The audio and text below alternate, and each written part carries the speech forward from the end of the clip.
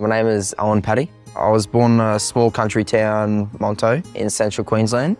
I started playing football when I was four years old for the local Mara Tigers. I've had a fair few good football moments at a young age, but probably the award that stands out the most would be the Player of the Year for St Brendan's in grade 12. There's a lot of big names in the past that have gone on to play NRL and I've always idolised those players growing up. So to see my name beside them has been, yeah, definitely pretty cool.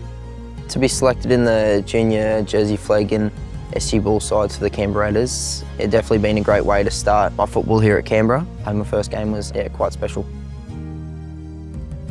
Of material handling has been a big part of also working here through the day and be able to go to training and have a good football career away from here.